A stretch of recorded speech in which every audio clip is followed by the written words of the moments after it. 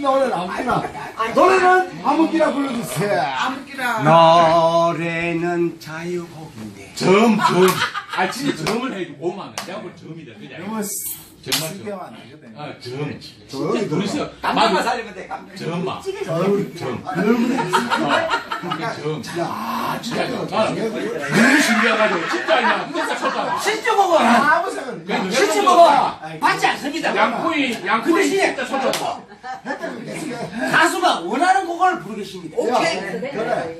노래 제목은 양코인, 양코인, 양코인. 얼굴에 전형적으로 얼굴에 해살이. 어제도 듣고 오늘도 듣고 내일도 듣고 같이 입었으면 색깔만 들어갑니다. 박수 부탁합니다.